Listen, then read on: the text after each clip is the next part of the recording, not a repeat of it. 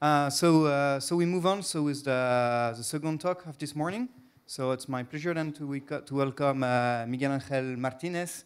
So he's a full professor at the University of, uh, of Saragossa.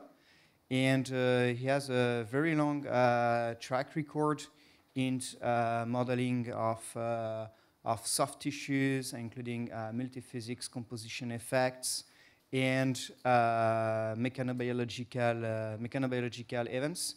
And so uh, now he will explain us so the transfer of this knowledge, so in the problem of atherosclerosis and so using modeling in order to identify the most important features um, that, that, that, contribute to the development of this disease.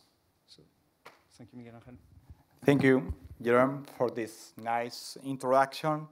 Well, the, the title of this talk is, uh, you can see in the slides, is uh, Mechanobiology of and Mathematical Modeling of Atheroma Plaque Initiation and Development. Logically, it's a word that has been developed by different people, and some parts of this talk correspond to uh, some uh, pieces of doctoral thesis, and I will present the people that has participated in this work at the end of the talk. So this is the outline I'm going to follow in the presentation. I will begin with a brief motivation about atherosclerosis. I will continue with the presentation of the modeling of atheroma plaque formation and development, also the tasks and objectives of this work uh, I am presenting here, the governing equation, and some numerical example and some numerical results of these models. And I will finish the first part of the talk with some conclusions about this uh, modeling of atheroma plaque initiation and progression.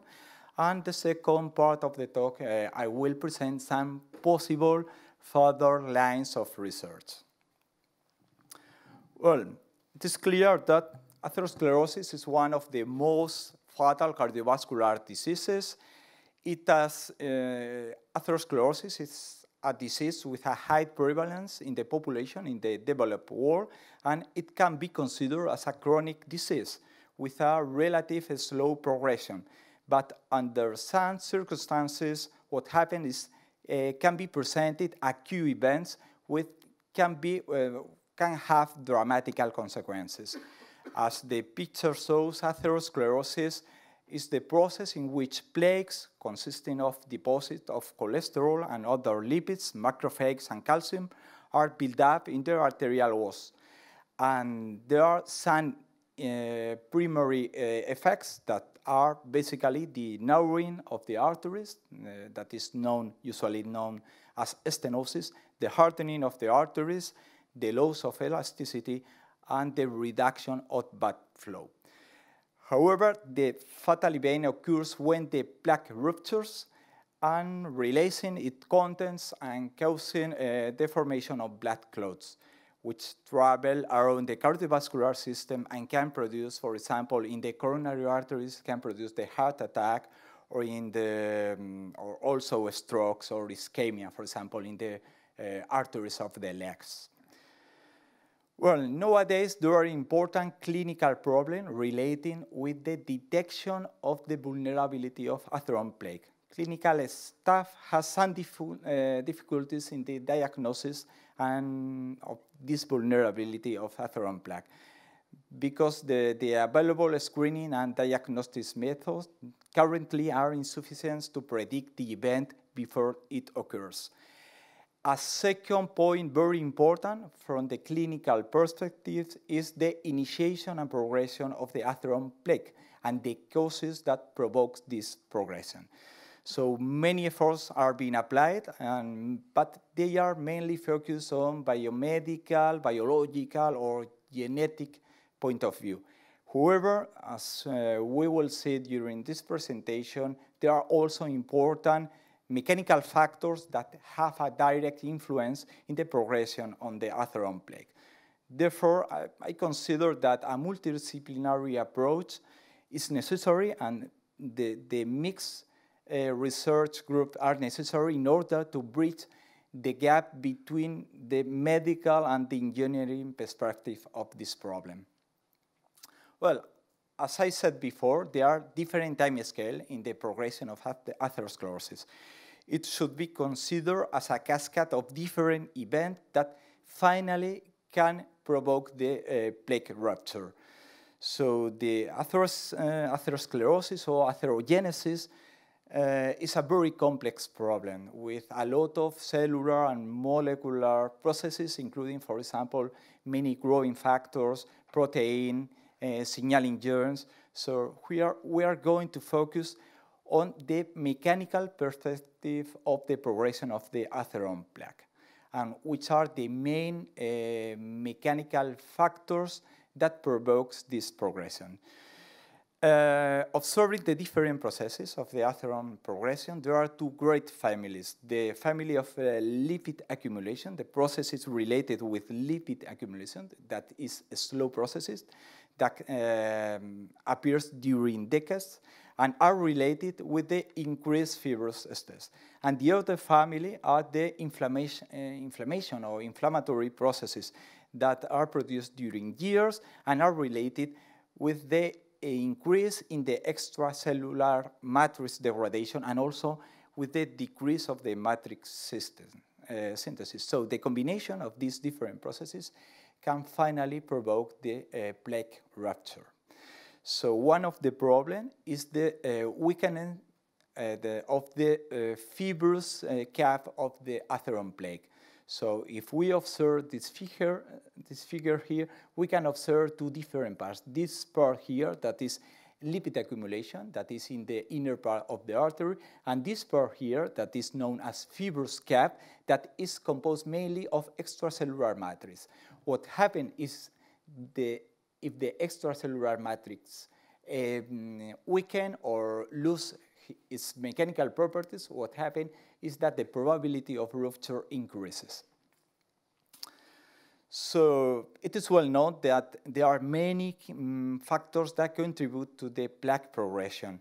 Observing, for example, the uh, biological factor, it is clear that there exists genetic factor, the LDL, low density lipoprotein concentration in the blood flow, uh, diabetes or endothelial dysfunction. Another factors are environmental factors, for example, the smoke and diet. But as I said before, we are going to focus on the biomechanical factors. It is clear that uh, the mechanical factors seriously affect the progression of the atheroma plaque. Uh, why? Because uh, if we observe experimental evidences, we can observe that atherosclerotic plaques are located at predilection sites such as side branches, curved segment, or bifurcation, which are known to disturb several properties in the blood velocity flow. So the mechanical effect of the blood flow uh, affects seriously the progression of the plaque.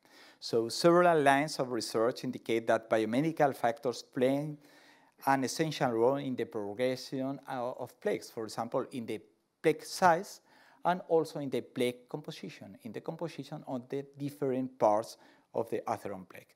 Another important factor from a geometrical point of view are, for example, the vessel curvature, also the vessel compliance, pulsatile blood flow, or the heart motion. Well, between the, all the biomechanical factors, there are one that is generally accepted that has an important effect in the uh, initiation and progression of atheroma plaque. That is the friction that the blood flow uh, is applied over the endothelium of the artery layer, of the arterial layer. So this uh, friction force is known as wall shear stress and seriously affect the permeability of the endothelium. It is proof, experimental proof, that for very low wall shear stress, the permeability of the endothelium is increased. So there are some substances that are in the blood flow, for example, the LDL, that pass through the endothelium towards the internal layers of the artery and appears at the position of lipid contents in the arterial part of the artery. So um, another important factor is the oscillatory shear effect of the blood flow over the endothelium. If the wall shear stress changes, change his direction or its direction or change the sign of this wall shear stress, what is now the oscillatory shear index. So for high oscillatory shear index, the permeability of the endothelium is increased again. So these two factors, wall shear stress and the oscillatory effect of this uh, wall shear stress seriously affect the progression of the, of the disease, of the atheroma plaques. So there are special sites in which the flow is perturbed. So uh, there are some points in which the wall shear stress decreases and the oscillatory shear stress increases. So these are, are known as atheroprone sites. Well, concerning the vulnerability of the plaque, uh, well, there are important factors that affect this vulnerability of the plaque. So um, the clinical staff what um, observe, what examine for consider if a plaque is vulnerable or not in mainly three parameters that are the size of the lipid core, we can observe here, the thickness of the fibrous cap, this is a, a extracellular matrix, so this thickness, and also the degree of stenosis of the artery. Based on these three characteristics, they uh, apply different techniques, for example, stenting or balloon or, or applying a, a, bypass surgery.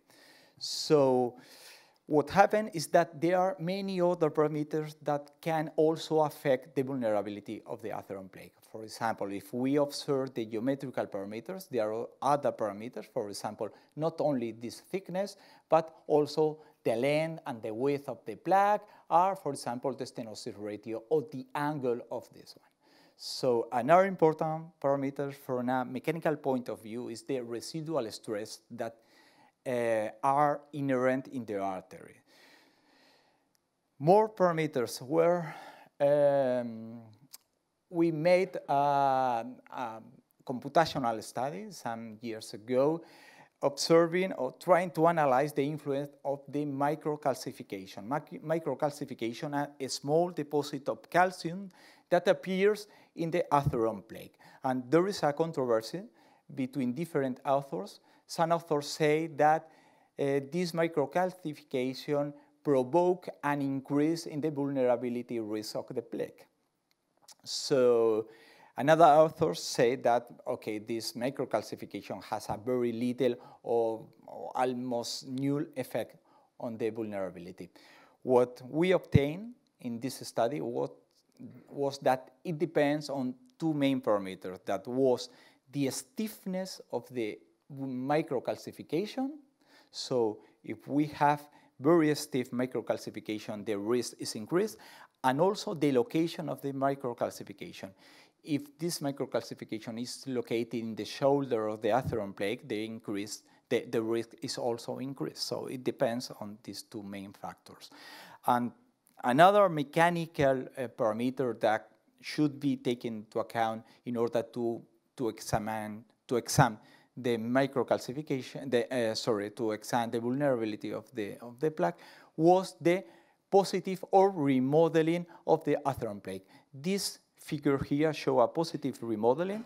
It's a growth of the plaque uh, outwards and negative uh, correspond to an inwards growth.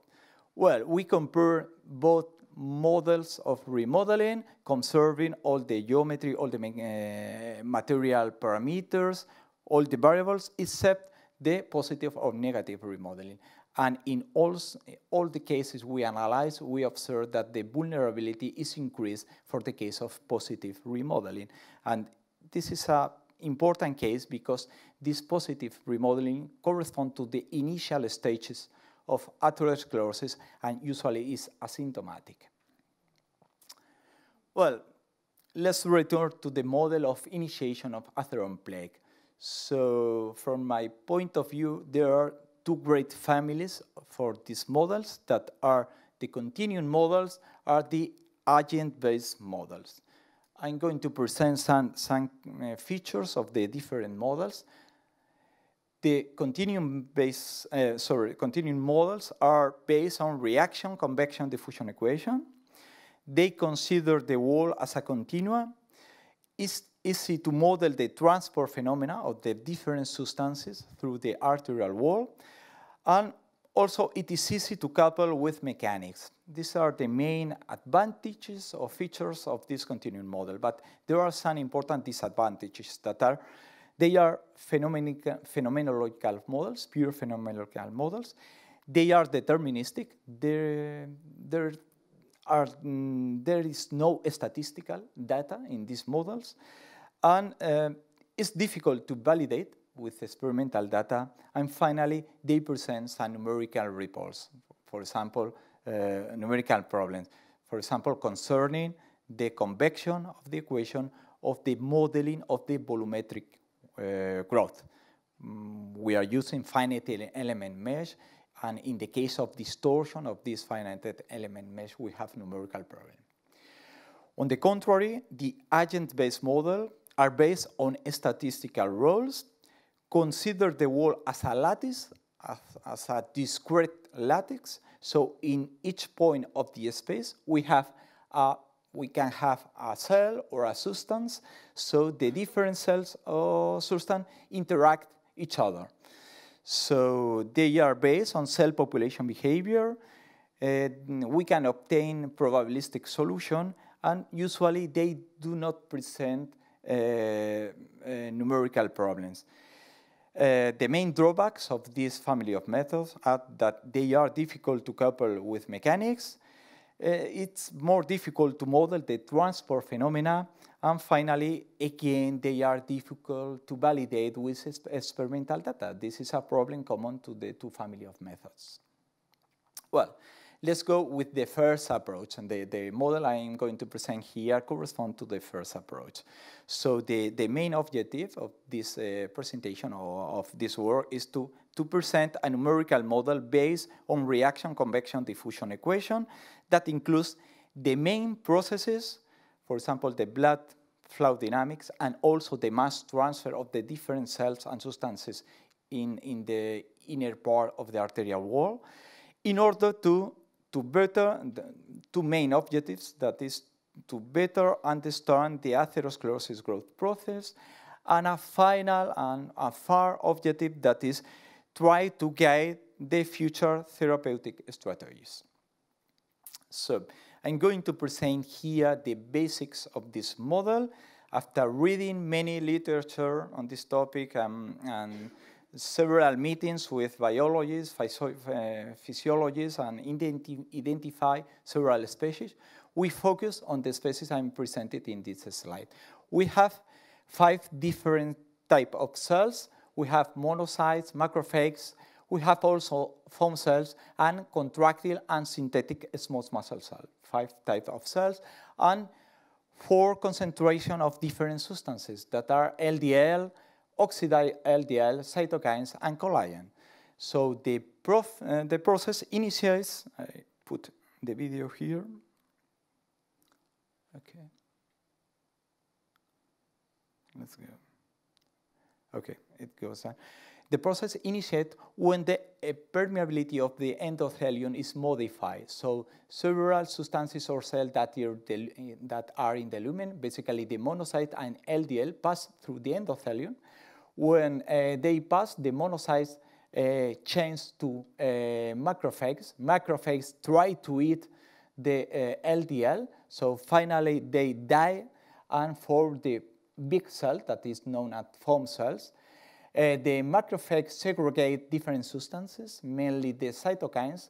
The cytokines is a signaling substance that provokes the change of the phenotype of contracted and most muscle cells that are in the outer part of the media, so they change the phenotype. They convert into synthetic smooth muscle cells. They proliferate to the inner part of the artery, and finally, uh, synthetic uh, smooth muscle cells segregate collagen. So in this part here, there is a concentration on three different substance, substances that are foam cell, lipid content on the plaque, the synthetic smooth muscle cell, and also different extracellular matrix that we are representing here with the collagen. So there are different parts here, and we have observed before that the, the, the plaque have separated parts. Well, one of the problems we will see after of this model that we are not able to separate the different parts of the plaque. We have a continuum concentration of the different substances. We have a continuum uh, proportion of foam cell, smooth muscle cell, or collagen, but no differentiation into the different part of the plaque, I will say. About the equations, the converging equation, oh, it is clear we have a fluid dynamic. It is necessary to, to model the fluid dynamics of the problem. In this case, we are going to consider steady, incompressible, laminar, and Newtonian uh, blood flow. is very simple uh, from the fluid uh, approximation. We use a standard Navier-Stokes and continuity equation. And after that, it is necessary to model the path of the different substances from the blood flow towards the inner, uh, the, the, arterial walls. So what happened is that the endothelium changed the permeability. This permeability depends on mainly three different junctions. It is known as three-pore uh, three model. And this model, the permeability of especially the leaky junction, the three pores are leaky junction, normal junction, and vesicular pathway. Well, this junction here, uh, the, this junction is very dependent on the wall shear stress level. So if the wall shear stress decrease or increase the oscillatory wall shear stress, what happened that this permeability increase. So if this permeability increase, the total transmural volume flux increase. So there is increase in the, of the flow of, from the blood flow towards the, the, the arterial layer, to the intima or to the media. So an important part is also the Darcy's law. The Darcy's law, what gives us is that the give us the velocity of the plasma through the arterial layer. So the Darcy's law gives the velocity, and this velocity is proportional, is linearly proportional to the pressure drop the pressure drop between the interior part of the vessel in the lumen and the exterior part that is the uh, adventitia. Okay, the equations about solute dynamics. Well, we are going to consider two parts. The first part is, a, or the first step is a steady, is a stationary step in which we are trying to uh, um, achieve the permanent condition of the blood flow. So it is a standard Navier-Stokes equation, and in the Navier-Stokes equation, we incorporate this equation with a diffusion and a convection term for two main substances that are in the blood flow, that are LDL and monocyte. And we are going to consider two different concentrations of LDL we will consider the, a normal concentration and a very high concentration to observe the differences of this parameter of the model. And the second part of the model, the second step, is a transient part, is a time-dependent diffusion and convection equation along the arterial wall. So for example, for the case of LDL and monocyte, what happened is that these two, this substance and this cell pass through the endothelium, and the pass depend on the transmural flow I presented in the previous slide. And this transmural flow depends highly on the wall shear stress. So this uh, flow uh, of LDL and monocyte depend directly on this variable the equation of the different substances. For, for this case here, I'm presenting the equation for LDL, oxidized LDL, cytokines, and collagen. Well, the, the structure of the equation are very similar for all of them. We have a variation of the concentration, a variation with time. We have a diffusion term in, in blue. We have a convection term due to the velocity of the plasma, of the transmural plasma. Uh, we have two reaction terms. We can have production or we, have, we can have degradation. For example, for the case of LDL, we consider, the, we consider this uh, temporal variation, we have diffusion, the convection, and in this case here we have no production. We have only degradation. Why? Because the LDL is degraded to oxidized LDL. So this term is the same that this term. Here we have a, a minus signum. Uh, we have here a positive contribution. So these are source term. Uh, these are sink term. Well, similar for the rest of the equation, for the equation for the different cell population. We have different pairs, diffusion, convection, differentiation of the different cells, and we can have death or chemotaxis term. So the, the, there are similar equations for all the terms here. What about the parameters of these equations? Well, we have a total of 34 model parameters, and there are different set of parameters. For example, some, there are some related with the blood diffusion, we have plasma diffusion coefficient. These parameters are very important. For example, the diffusion of the different substances through the arterial wall. Also different rates that affect the reaction terms, how these reaction terms vary or with time. Some geometrical parameters, some threshold affecting the reaction terms. For example, the, the concentration of LDL has a upper threshold, and some other parameters related, for example, with material parameters or material features, for example, blood density, plasma density, uh, collagen density, or intima porosity. So one of the problems of this model is um, how we extract the different parameters. Well, in this case, you can observe each parameter has its reference. What happened is that um, each parameter is obtained in different conditions. There are some parameters that have been gotten by um, in vitro studies, some other in vivo studies, ex vivo studies. From the in vivo study, there are some parameters from the human data or from experimental some um, animals data, for example, mice or rabbit. So it is very difficult, it's almost impossible to get the parameters from the same source. So finally, this model, one of the problems or limitation of this model is the final validation because the, the, the parameters of the model um, are, has very different uh, characteristics. Well, about the uh, volume growth of the model, well, it is necessary to consider an open system. Um, from the biological point of view, it's an open system because we have an incorporation of external energy. So this external energy which provoke is the growth of the biological system or the volume of the biological system. So it is possible to consider this volumetric growth observing the modification of the densities on the concentration, and we can establish this growth with a, um, a string gradient tensor.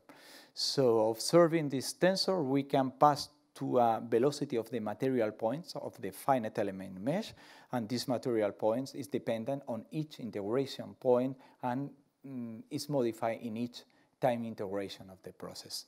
So in this case, we are going to consider that the volume changes mainly due to three different contributions. The contribution of the foam cell that we will consider as spherical, the smooth muscle cell, synthetic smooth muscle cell, we consider ellipsoid, and the collagen concentrations. So uh, we took uh, data from literature and they are the contribution to the volume growth. I present here the finite element mesh. You can observe that we consider an axi symmetrical uh, an axis of axisymmetry. So we can model as a two-dimensional uh, two problem um, we have the inlet in the left part of the model, and uh, we have the, the outlet in the right part. This part here is an artificial stenosis. The, the objective of this stenosis is to provoke an artificial change in the wall shear stress field.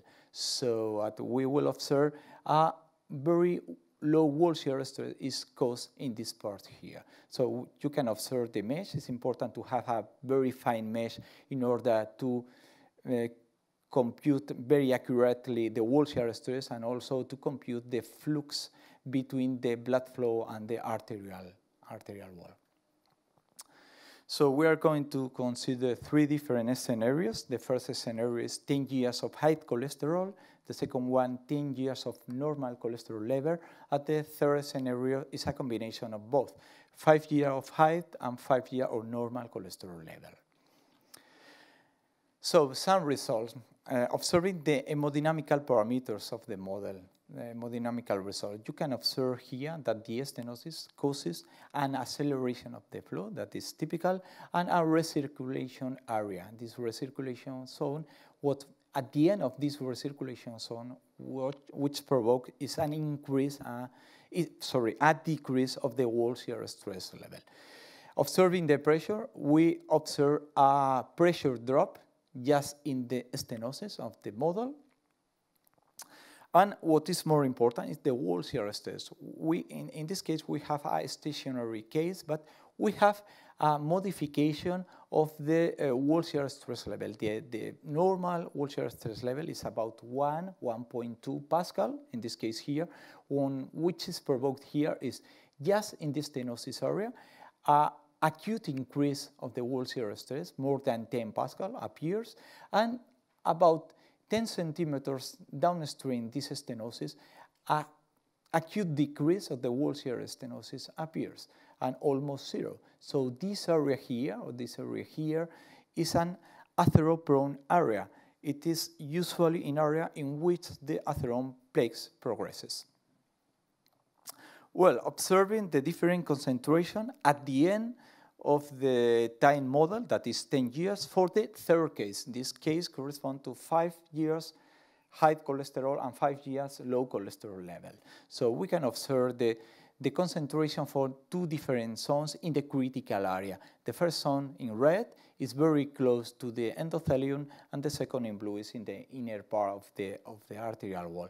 We can observe several um, conclusion, or we can obtain several conclusions. For example, the LDL in this point, it is observed that is uh, important, uh, appears an important drop due to the change in the cholesterol level. So the cholesterol level in the blood flow passed directly to the cholesterol level or the LDL concentration level in the artery.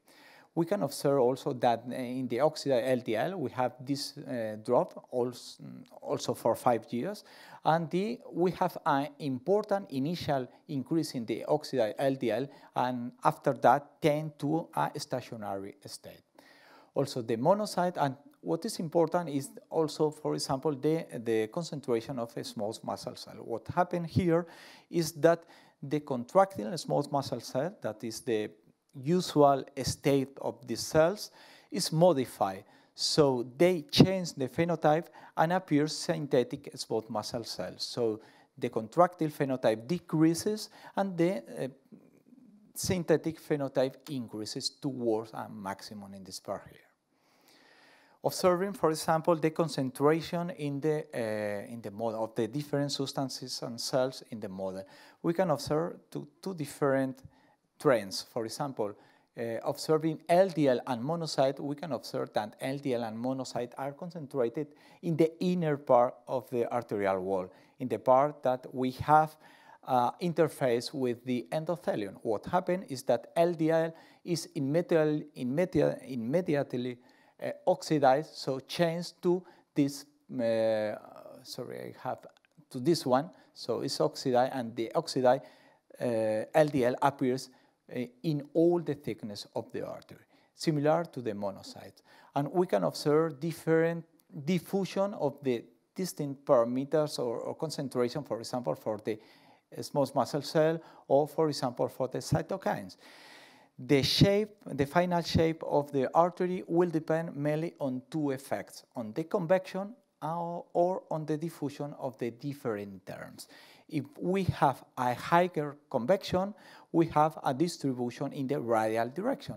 If the diffusion terms are predominant, we have a dispersion in the longitudinal direction of the artery. I present here a qualitative um, modeling of the growing. Uh, I said before that it's very difficult to, uh, to establish experimental validation, but the levels of the growth are similar to the, to the levels we can get in the literature. we can observe the different growth for the three three scenarios, and it is important also to observe that even for normal cholesterol level, the changes in the wall shear stress causes the apparition of a small atheroma plaque.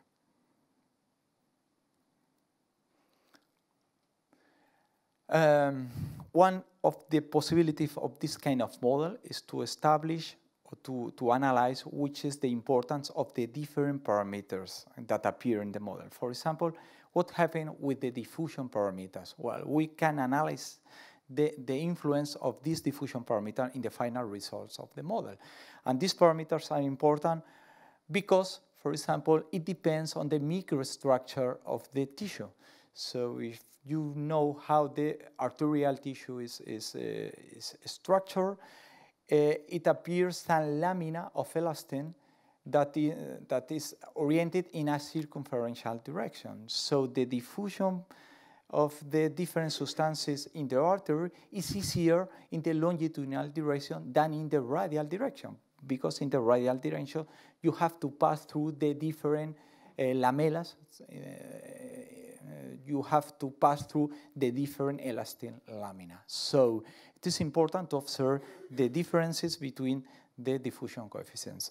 The results I have presented before correspond to a isotropic diffusion model, the same diffusion parameter for the radial and longitudinal directions. So the parameter gamma is the radian between the longitudinal to the radial diffusion coefficient. Um, I, I think that it's more logical to establish, uh, to, to fix a gamma parameter higher than one. For example, this case here, three, because it established that the uh, facility of diffusion in the longitudinal direction is higher than in the radial direction. But we analyze different, uh, different possibilities for the gamma parameter. It's a parametric study. And these are the results for, for this variation. If we compare, for example, the uh, relative LDL concentration in the arterial wall, well, we can observe the different, the 11 different models with different parameters, and also comparison with, with experimental data. We can observe that, okay, there is a good correlation between numerical and experimental results, and in this case, the influence of the diffusion is very low. The results are very similar. What happens with that? Well, we can observe here with the LDL. What happened is that the LDL trespass passed through the endothelium, but just after processing, changed into oxidized LDL. So the diffusion of the LDL is very small. So the, the LDL concentration is not affected by the diffusion coefficients. But this coefficient seriously affect to the rest of the substances and cells of the model. For example, to the foam cell, uh, mainly to the foam cell, but also to the vascular small cells uh, or to the collagen. It's important the effect of the foam cell, and uh, they highly depend on the diffusion. It's very uh, uh, it's very dependent on, of this diffusion coefficient. And we can observe the differentiation between the longitudinal, high longitudinal diffusion, or in this case, more radial diffusion coefficient. Uh, another important effect is the arterial pressure. So it seriously affects to the transmural plasma flow through the endothelium and through the arterial layer. This is the Darcy's equation. So we observe this is the uh, plasma velocity and it depends on the pressure drop. Uh, usually the pressure in the external layer of the artery in the adventitia is more or less constant what changes is the pressure in the internal part of the artery, in the lumen. So if we change this internal pressure, what we are changing is the pressure drop, increasing the velocity of the plasma and also affected to the convection terms. So if we increase the internal pressure, we have a more convection effect in the continuity equation of the different, uh, of the different concentrations. So for example, for this case, we analyze three different possibilities, three different scenarios that are low diastolic arterial pressure, normal pressure, and hypertension conditions. So we can observe here the influence. The, in green, we have the normal pressure that are the uh, base case we have presented before. And for the case of the low pressure, what happened is we have a, the, the convection is uh, less important than the diffusion. We have a shape uh, of the atherotic uh, um, atheroma plaque more spread in the longitudinal direction. Uh, on the contrary, for the hypertension condition here, we have a predominant effect of the convection. So we have a shape of the atheroma plaque much more acute as we can observe in this figure. So the diffusion coefficient and the internal pressure modify the influence of the two of the main aspects of the model, that is the diffusion and convection terms of the model and similarly to the rest of the uh, substances and cells of the model. So as main conclusions of this, this first part of the talk uh, concerning the modeling of atheroma plaque using continuum approach, a continuum equation, we can say that, well, a qualitative growth model is able to simulate from a global uh, perspective the plaque initiation and progression process. So this model should be considered as a preliminary step, uh, as a first step to the understanding of the mechanical effects on this pathology progression. So it's important also to, to remark the limitation of this model. Uh, there are a lot of limitations. One is that it is necessary to include other biological processes. For example, the mechanotaxis. The mechanotaxis uh, we have only one term for mechanotaxis, and it's, it's, it has a, mm, a high importance in the modeling of this disease. And also another limitation is that you can observe that we have a continuum distribution of the different cell population and, and substances. Um, uh, when in a real plaque, we have different parts. So this model are not able, these kind of models are not able to separate the different parts of the layer. If we want to separate the different part of the of the of the atheroma plaque, we have to use agent-based model or a combination of both approaches. And another important limitation is the experimental validation that is very difficult and I, I, it's not easy to validate these results. So eh, Another conclusion is the importance of the diffusion and convection coefficient and the importance of for, for depending on the arterial pressure and on the diffusion coefficients. So how can we improve this kind of model? Mm, focusing of a mechanical point of view, from a mechanical perspective, which aspect we can include in this model to, um, to improve the characteristic of this model from a mechanical point of view. There are several factors. For example, I'm presenting here five different factors, and I'll present after the influence of some of them. For example, the inclusion of mechanical stress. It's clear that the mechanical stress has also to affect the progression of atheroma plaque. For example, the coupling between the mechanical and hemodynamical effect. So the possibility of doing fluid stru structure interaction simulation. Or, for example, also modeling the uh, endothelial remodeling. So how the wall shear stress is modifying the morphology on the endothelial cell. This is another possible future line of research. And well, finally, how can we apply these techniques or this model to the clinical practice? How can we translate these techniques? Well, it should be necessary to apply this model to clinical image-based studies, so uh, studies coming from patient-specific geometry. And also, one of the main problems of this model is a high computational cost. So another alternative is the use of some kind of machine learning techniques in order to apply this model to the clinical practice. So I'm going to, to very briefly present some of this point of continuation of this model. For example, the, the role of mechanical stresses in the, in the artery in order to, to better simulate the, the atherosclerosis progression. Well, this is a study we did some years ago in collaboration with a French uh, team led by Professor Jacques Ohayon of the University Joseph Fourier of Grenoble. And the idea, the objective was to study the role of mechanical factors such as heart motion or the combination with internal pressure in the appearance of atheroma plaque in patient-specific uh, coronary bifurcation. We took eight different patient-specific geometries of the coronary bifurcation. We have the left anterior descending coronary artery and also the circumflex. In this bifurcation here, we have to observe how the mechanical stress or mechanical stiffening can affect the, the appearance of atheroma plaque. Well, in order to include the motion of the heart, we took from this, uh, we took patient-specific data.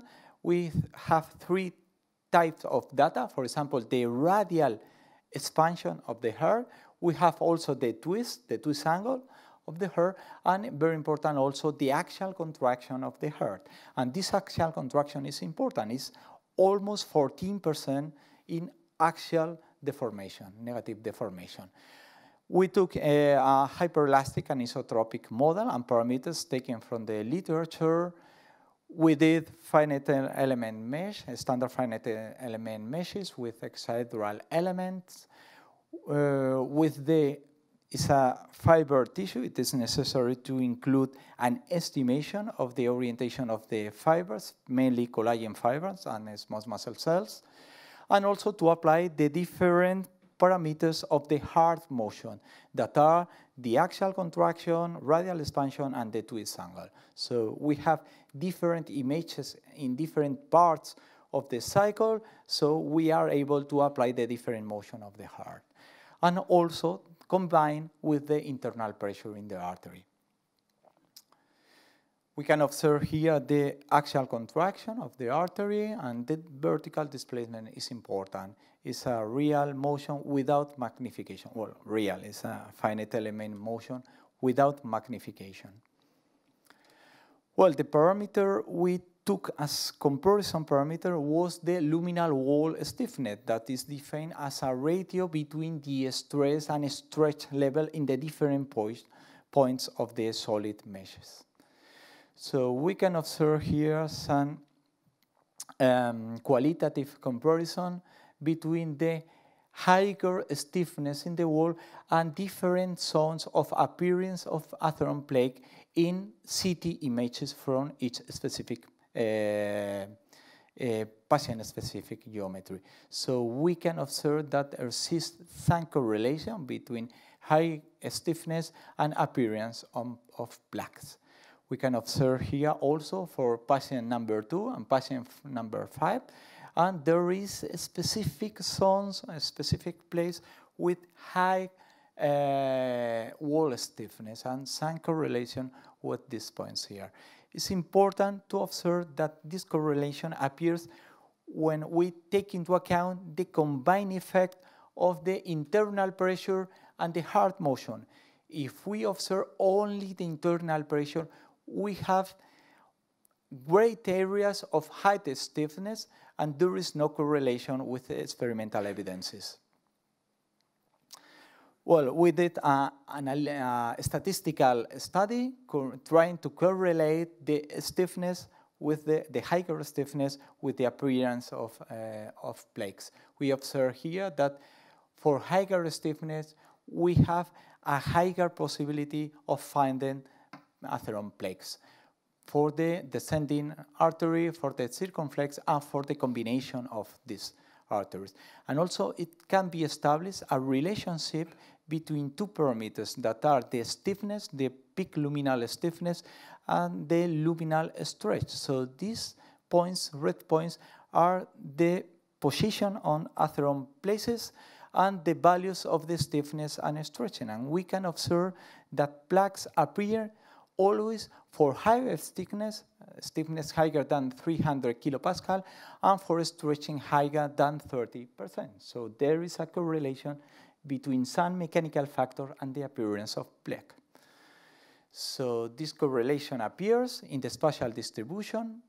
So it is important in order to identify the high risk zone for the appearance of atherosclerosis And the idea is to try to incorporate these evidences into the continuum model for the growth of atheroma plaque. So a combination of hemodynamical factor plus uh, some kind of solid factor, for example, luminal wall stiffness, I consider it could better represent the mechanical stimulus that promotes the initiation and progression of plaques.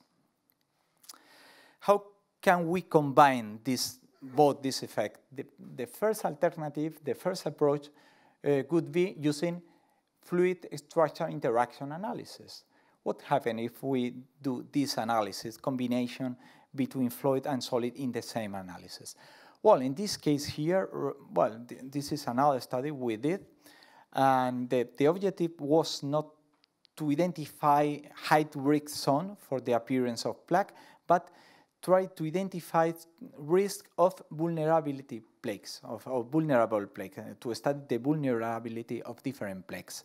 So we did a a parametric uh, model with different geometrical parameters. In this case here, we have four different parameters. For example, the, the cap thickness, this parameter here, the stenosis ratio, the lipid core length in this direction, and the lipid core width in this direction, the size of the lipid core.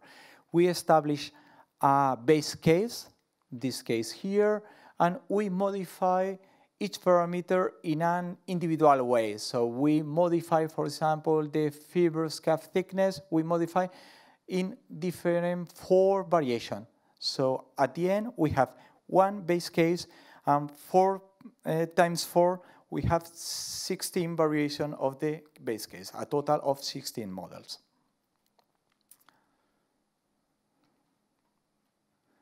Well, the boundary condition for the fluid-solid interaction is, uh, I know it, sorry.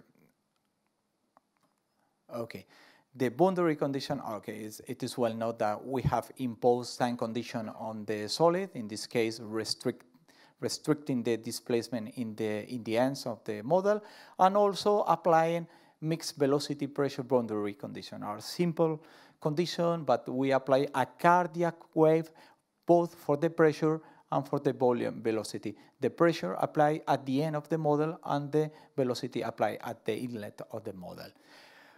Analyzing the different variables of this uh, combined model. For example, respecting, uh, concerning the solid variables, we can observe that the maximum appears, well, each curve corresponds to each different model, geometrical model. Uh, the shape of the curves, I am representing here the maximal principal stress versus the time.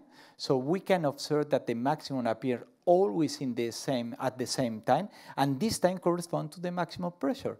And the shape is very similar to the shape of the pressure wave. So there is a direct correspondence between the pressure and the uh, maximal principal stress. Well, even if we compare this uh, fluid structure interaction analysis with a pure solid model, we can observe that in the central section, the results are more or less the same, are very, very similar. What happened in this case is that the presence of a plaque, fibrotic part of the plate, what, ha uh, what happened is that this section is very, very stiff. So the inclusion of the internal pressure do not modify, or don't modify the, uh, the geometry of this part. So the, the displacement are negligible, so the results are the same. In this case, it could be better to apply only solid model, not fluid structure interaction. Analyzing the fluid variables, we can observe a typical um, a typical case that corresponds to the high stenosis and acceleration, and here some sound of disturbance of the flow. If we observe the wall shear stress, we can see here a higher wall shear stress in the stenosis zone and a lower wall shear stress in this part here. The lower wall shear stress affect or can affect to the plaque growth and the wall shear stress, in this case here for higher stenosis, we have higher wall shear stress, higher than 40 pascals. So this uh, high wall shear stress can affect to the final possible rupture of the, of the plaque, or to the remodeling of the endothelial cells in this part here. Okay, we can observe here again the recirculation and very, uh, very low wall shear strength zones here. So, and best conclusion, if we try to combine the fluid analysis with the solid analysis in the same simulation, what happened for this model is that finally the solid uh, results are similar to the solid analysis. So it is, necessary, it is necessary to apply a combined analysis for this case. And for the case of the fluid analysis, it's more or less the same. It could be necessary to apply a pure fluid analysis. So in this case here, for this plaque and to study the vulnerability of the plaque, with separate analysis, solid or fluid analysis would be better and cheaper from a computational point of view. Um, how to apply this to, for example, patient-specific geometries? How uh, it is possible to apply this model to, uh, to the patient-specific analysis or to realistic geometry? Well, the response is, the answer is yes. What happened is that the computational cost is very high. So this is, this is a first step in which we analyze not the whole model, the whole model studying the uh, plaque growth, but only the modification on the permeability on the endothelium. I mean, the, uh, we try to analyze how the hemodynamical and solid variables affect the endothelial cells morphology due to these factors. So we took, it, uh, we took in this case a coronary bifurcation. We applied, applied the impedance method in order to extract velocity and pressure waveforms. waveforms. We can observe here the uh, streamlines and we can observe that the solid is modified. So in this case, the fluid structural interaction analysis has a higher influence than in the previous case. And we can observe here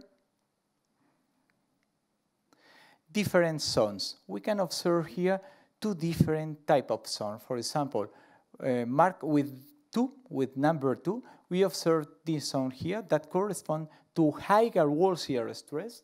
It corresponds to laminar flow, higher wall shear stress, and the wall shear stress is always in the same direction. There is no changes in the direction of the wall shear stress. Well, these zones are known as atheroprotective places, and the endothelial cells, the morphology of the cell is more or less aligned with the direction of the flow.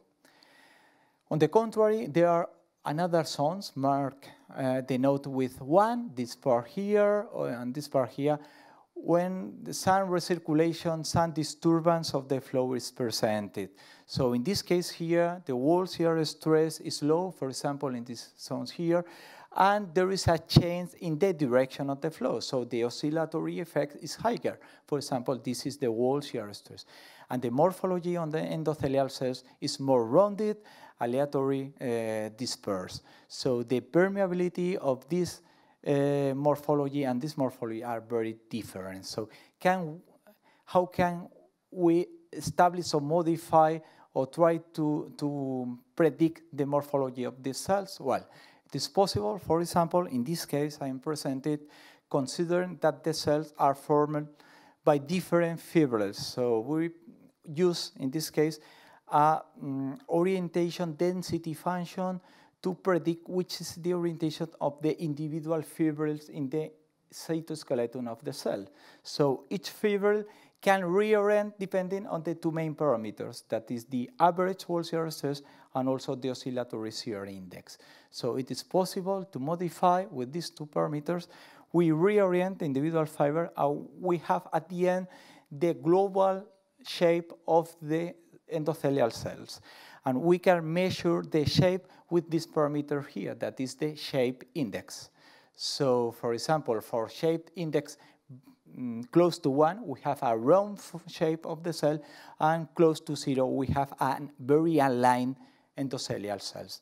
These are experimental data that analyze, study the influence on the wall shear stress level on the shape index.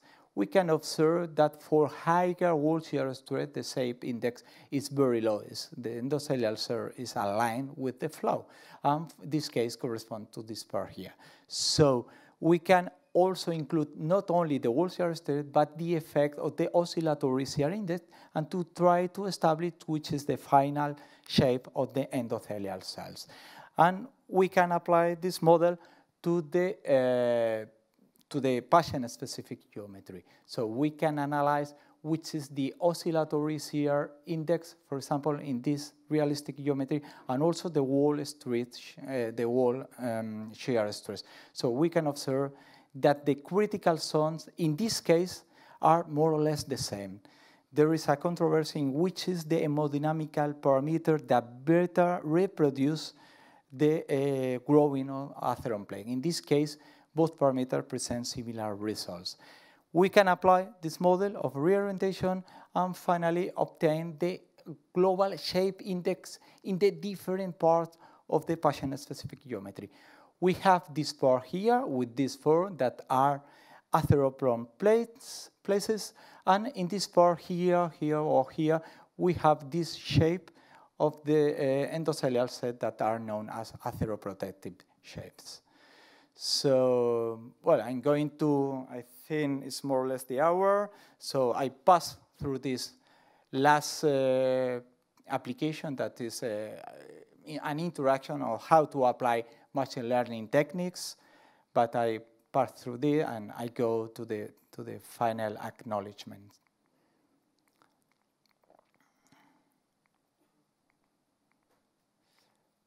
Okay, so, well, these are the results, the, the main conclusion, but, well, I would like to thank to the people that had contributed to this work, and there are many persons that has participated, and I would like to thank to Miriam Cilla, Stefania Peña, Mauro Malve, Alberto Garcia, and Pablo Saez, and also to the financial support of this research, and thank you all of you for your kind attention.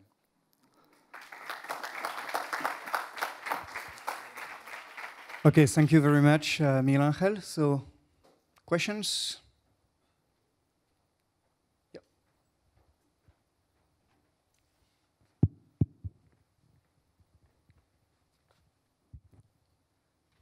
Uh, thank you very much for this very nice presentation. Uh, a simple question.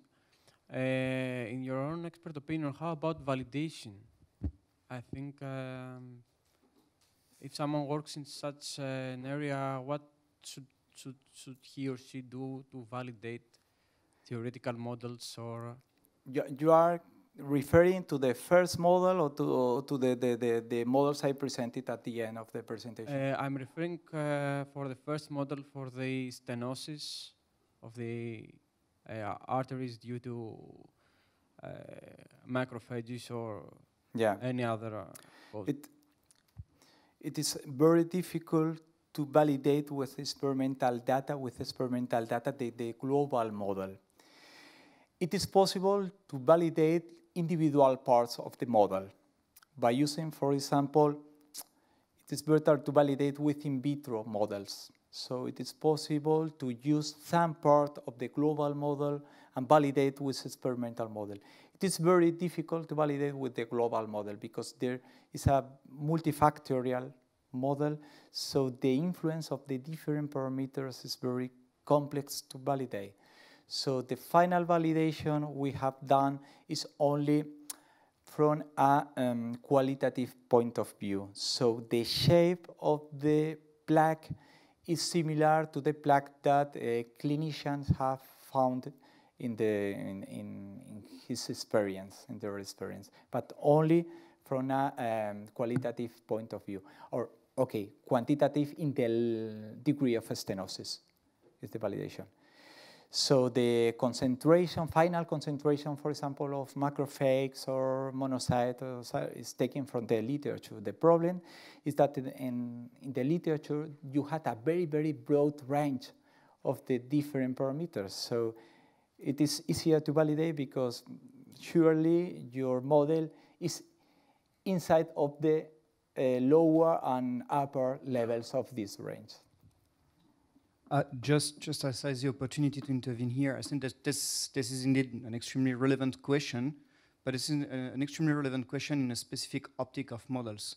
So as one of the speakers on Monday uh, recalls, so models can be used, uh, can have two different uh, applications. So one is uh, the prognosis or predictive application, and uh, another one would be explorative application.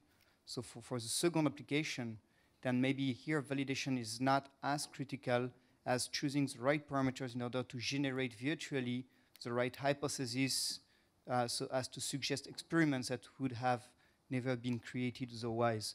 So I don't know, Miguel Angel, if uh, you can comment on this capacity uh, of the model. Um, one of the problem of the model is that we have a, a continued distribution of the different substances.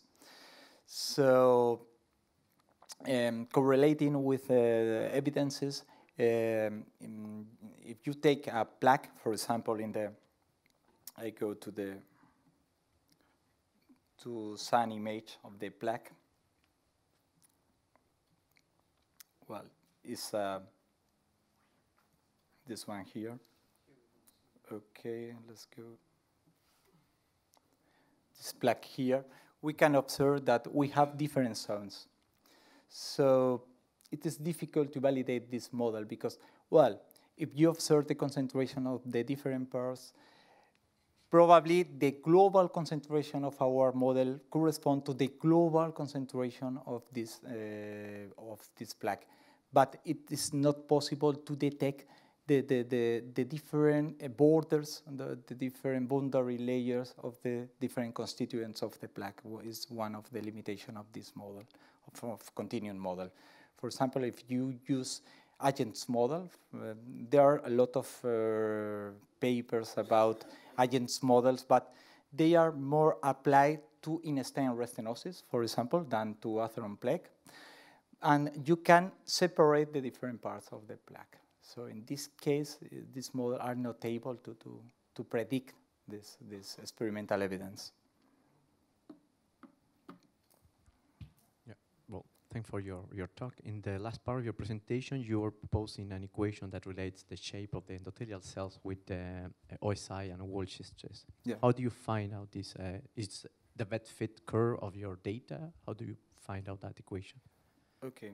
The, the equation of the shaped index, or the, uh, sorry, I, am going to put the, the slides. Yeah, is the equation of the shape of the endothelial cells. Yeah.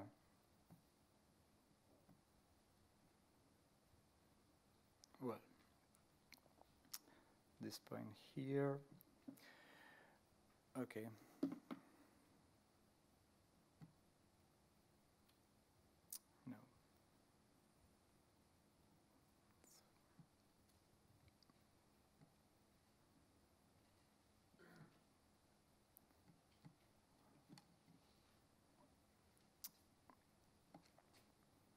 The meantime, uh, which wall shear stress you use to in that equation is the maximum, the average, time average uh, value?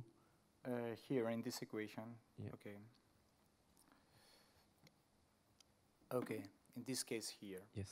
So what we did, uh, I went very, very quickly through the, the formulation. What we have is a, a probability orientation density function of the individual fibrils. So what we did is to modify the uh, individual orientation of each fibril. So it, mm, its orientation uh, is modified um, by two special parameters that are the wall shear stress, the time average wall shear stress, beta, this parameter here, and also the oscillatory shear index. And these parameters are included in this part here, and this is an exponential term that is the rotation of the individual fiber. So the rotation is affected by these two parameters. These parameters here is the wall shear stress, and affect here, and this parameter is considered depending on the oscillatory shear index and affect here. So each individual fiber is uh, is, uh, is modified, and we took data from the literature. There are many papers considering the orientation of individual fibrils, And finally, it is possible to, to validate, this is possible to validate with experimental data, with in vitro experimental data, because you have the control on the wall shear stress, on, on the flow features of the experimental data. And you have, uh, by microscopy, you can also capture the shape of the endothelial cell, so it is possible to modify it. And also you can observe each individual cell, which are the main components of the cytoskeleton and how they are distributed in the, in the space. So it is possible to validate. Okay, and then the final question is, uh, before you said in the previous study when you use uh, idealized geometries that you can separate flow dynamics and then solid mechanics, Yeah. not, not necessarily FSI. Yeah. In these patient-specific anatomies, that has an influence.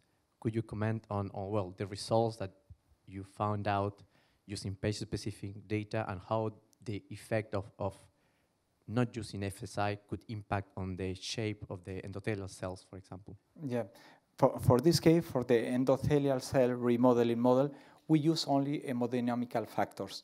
We have the stress level, the solid stress level, but at this level, we didn't find uh, the, the, the influence of the solid stress on the cell, so we neglect, neglect it, and we consider only the hemodynamical factors. We have the information but the, about the solid stress, but uh, this is not incorporated in this model at this moment. Question there? Okay. Thanks, Miguel Angel, for the, for the presentation.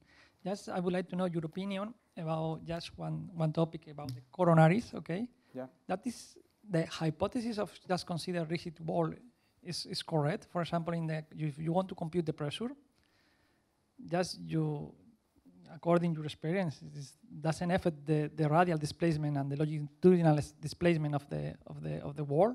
That is correct, just to consider just only for fluid dynamics. Yeah, I, I, I think it's an, an important limitation. It's an important simplification, mainly for the coronary arteries. For example, for another arteries, it could be okay. For example, for carotid or for femoral, but for the coronary, the, the coronary is moving, always moving, uh, because it is linked to the heart. Probably the, the, the motion we are considered here is not so real because what happened is that the coronary artery uh, has a lot of uh, chains in the direction and probably the, the, the, the contraction what affect is not the, a pure contraction in the actual direction, but they probably affect to the flexion, to the bending on some part of the coronary artery. So I think it is important to consider what happened is it, it is much more complex.